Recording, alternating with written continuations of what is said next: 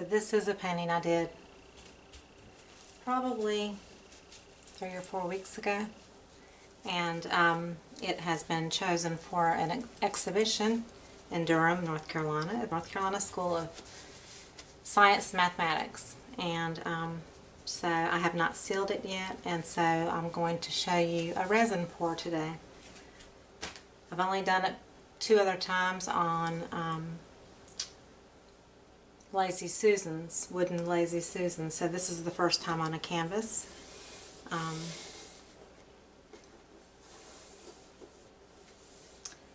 just hoping it goes well.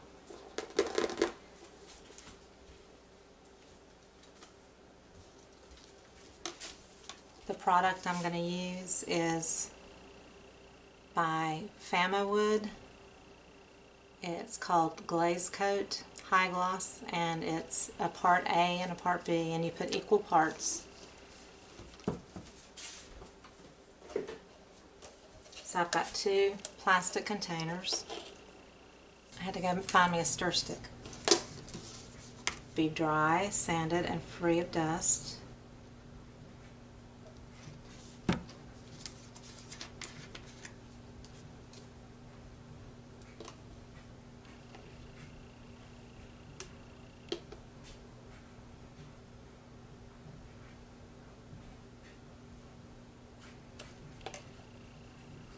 That's part A.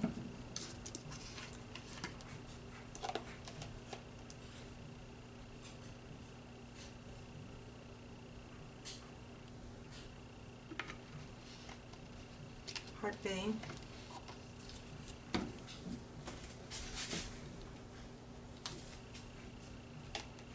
I'm gonna add just a little bit more so they're equal amounts.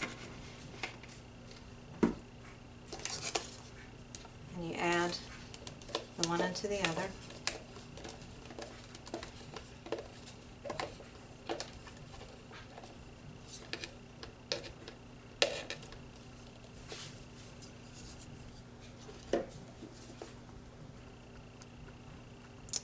and it becomes cloudy and it will warm up as you mix it too so don't be alarmed when that happens and you're supposed to mix it for up to about six minutes so I started my timer here and I think this is probably way more than I'll need but I want it to cover the surface and go on to the sides as well. Um, I do want to, I'm supposed to be stirring this. Wanted to make sure there was some support in the middle. Um, it's a little bit higher so I'm going to have to look around and find something just a little lower.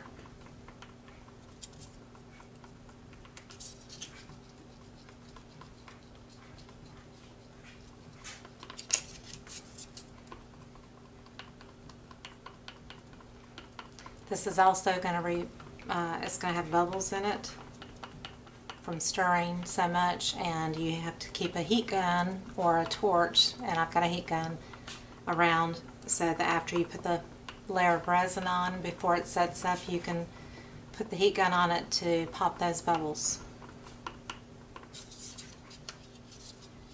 As you stir make sure you go around all your sides too as well. And this is probably the last time I'm going to use this product. I've, there's a couple other resins I've seen uh, that other people use. One is art resin and there may be some others that people have that are their favorites but this one is I've used before and it's extremely like sticky and messy and drippy and maybe they're all that way but I didn't find it much fun to work with. Um, I am leaving this right here after I pour it. The, when I used it this product before, I had to move everything to a different room and um, I just made a big mess. So this is going to stay right here after I pour it to dry.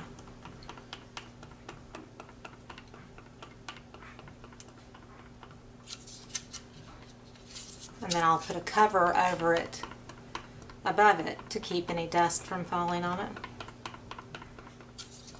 But I, yeah, I did not clean up my table with the paper, with paint on the paper and all that because I knew that once I pour this resin and it sets up on this paper, I'm gonna have to throw the paper away anyway because it'll be rock solid like glass.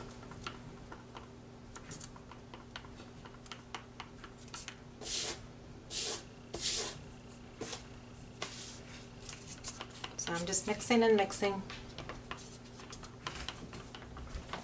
I've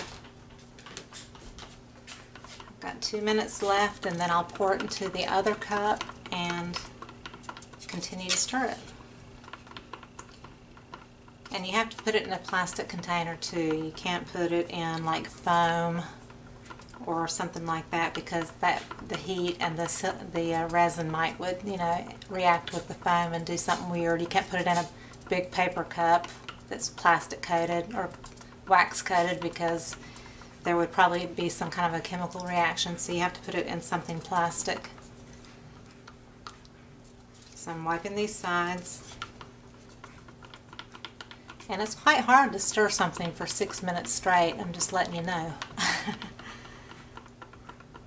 it feels like forever.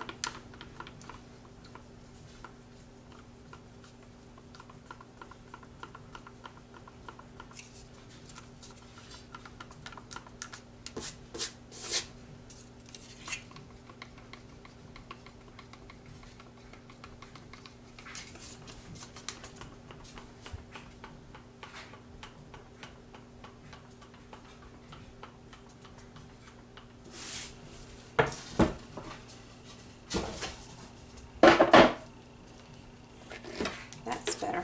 Now it's nice and firm and it's not raised my canvas up.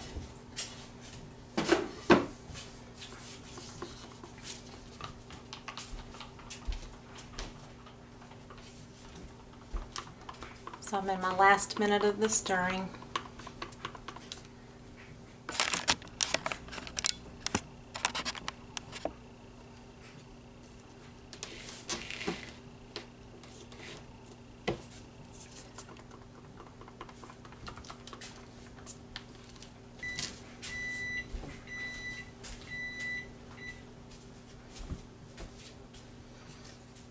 So that was my timer.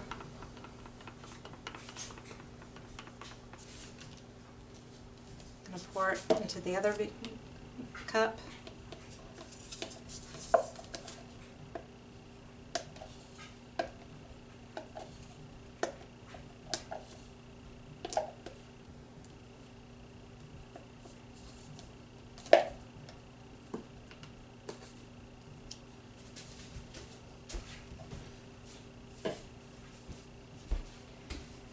Set the timer again.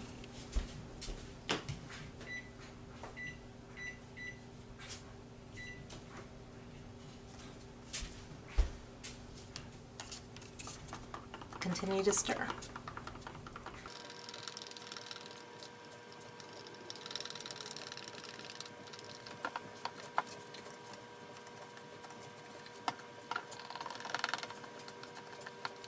I can feel the warmth in the cup.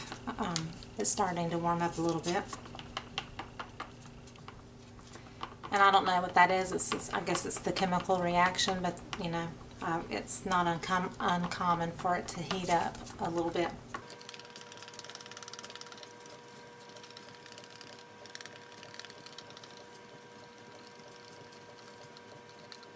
The beauty of resin is that it um, it's almost like a glass coating on top of your painting, and it really just makes anything in your painting kind of pop. Like this here and here, these areas are copper, and there is a little dimension that sticks out just a little bit in the the white of the waves and all, and, and that will that will come through and look more three-dimensional with the resin on top of it.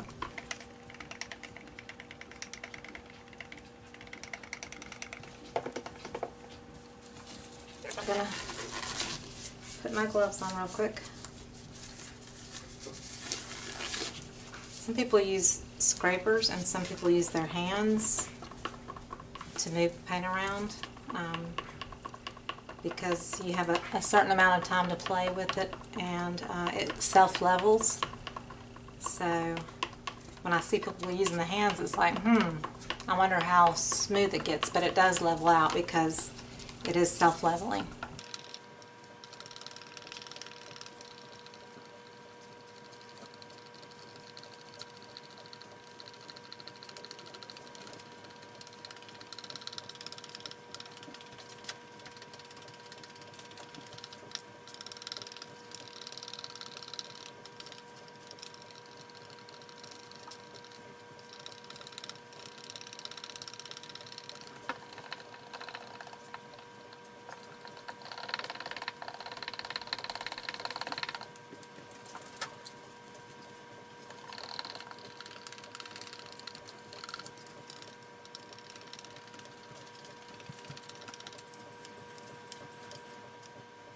Time's up.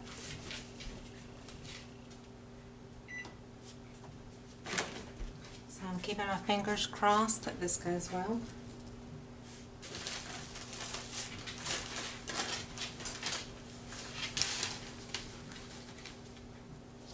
I do have my scraper here just in case I need it to uh, move things around. I'm going to try not to use the scraper.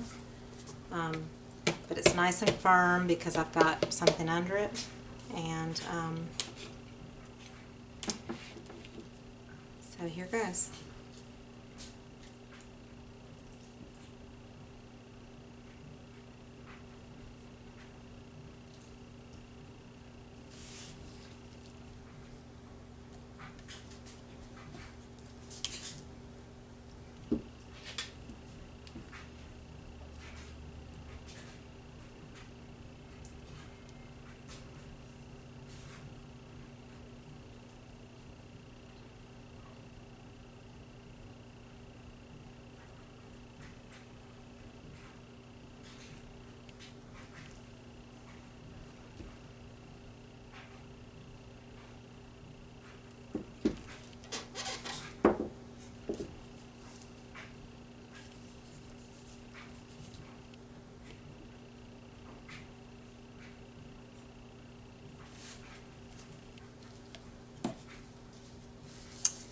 I guess I am going to use a scraper. Um, I'm going to do the heat gun first.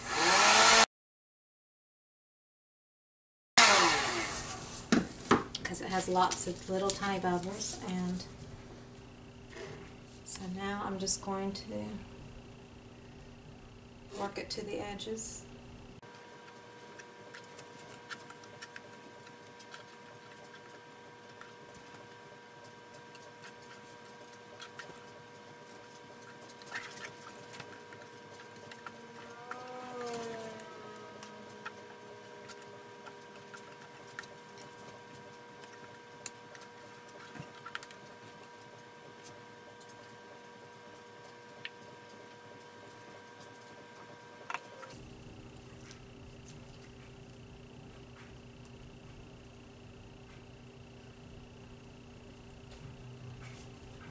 I do have it, uh, I have push pins under the canvas also to keep it raised off the table. And um, I taped the bottom on the underside so that um, the drips will not be sticking to the bottom side of the canvas.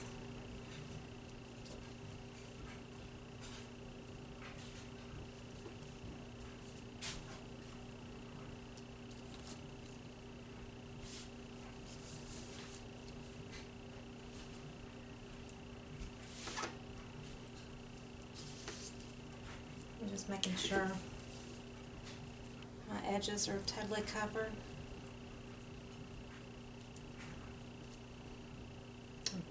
I don't, I can't describe what it feels like. It's almost like super thick, sticky um, corn syrup, maybe.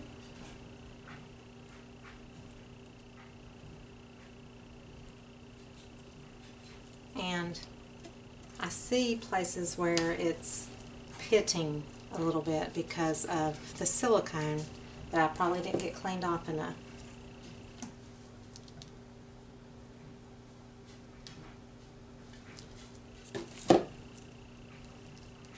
So I'm adding a little, I took a drop of silicone and added it into my hand.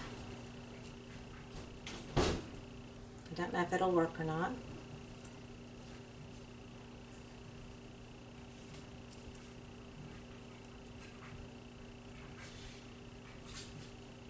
Just going to continue to do this until I feel like the canvas is covered fairly well.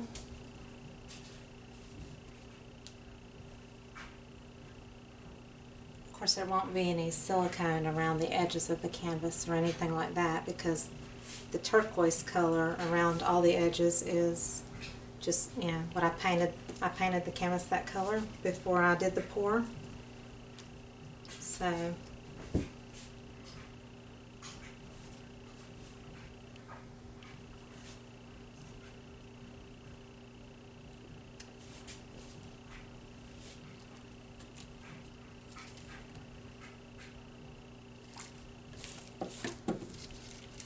one more drop of silicone.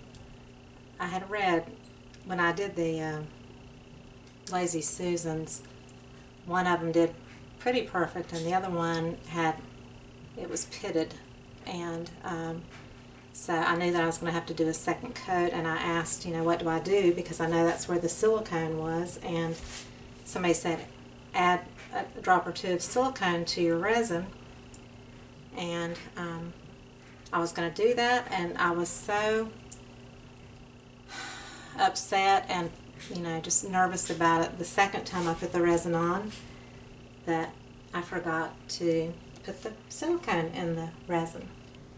So somebody else on Facebook said you can take silicone and rub it into the areas that um, are pitted and that worked. It was not perfect, but it certainly helped it uh, tremendously, the way it looked.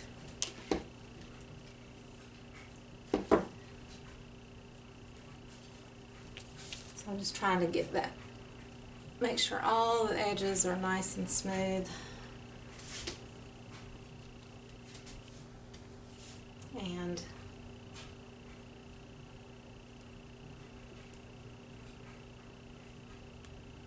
just going around and trying to make sure I haven't missed any spot on the canvas at all.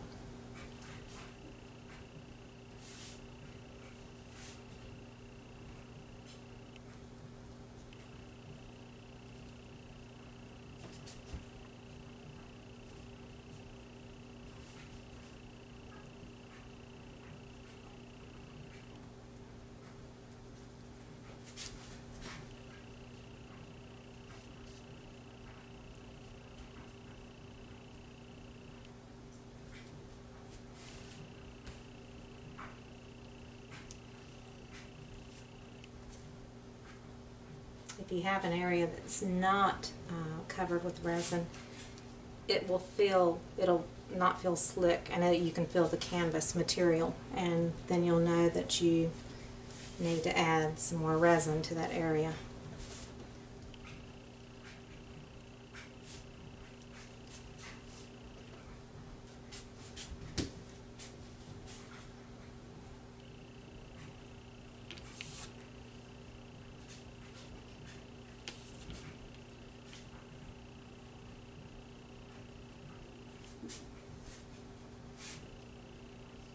So now I think I've got a pretty good coverage.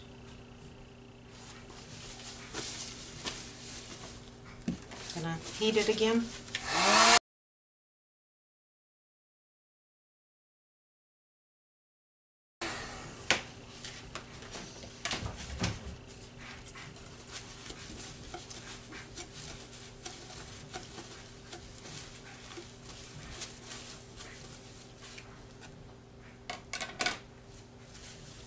So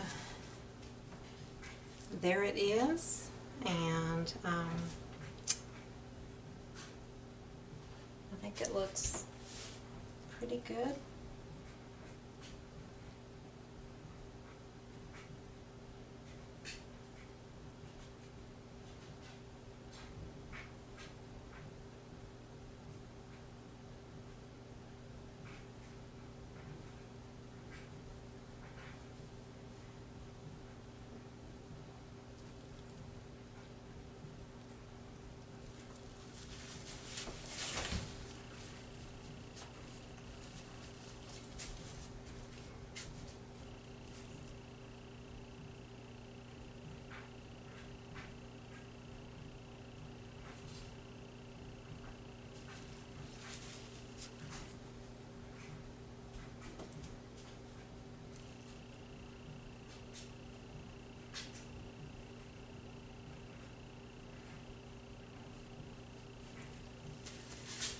I saw a few areas where I could kind of see maybe where I had added some silicone with my fingers. So I was just trying to trying to mix it in to make sure that it doesn't show up because you want it to be totally clear and perfect and no uh, reflections of anything or whatever so.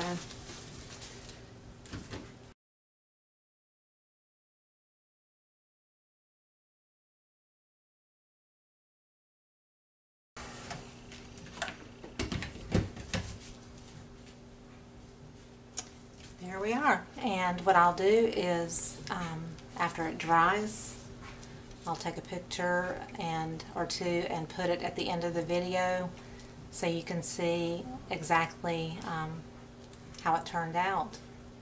I mean, right now it looks deeper. It really, um, it just makes everything so much more vibrant and it makes it kind of feel almost a little bit more 3D. And I'm not sure if I can show you that in pictures or not, but um, I certainly will try. So I hope you enjoyed watching. Please give me a thumbs up if you enjoyed it and subscribe to my channel. There'll be lots more that I want to share with you. Thank you.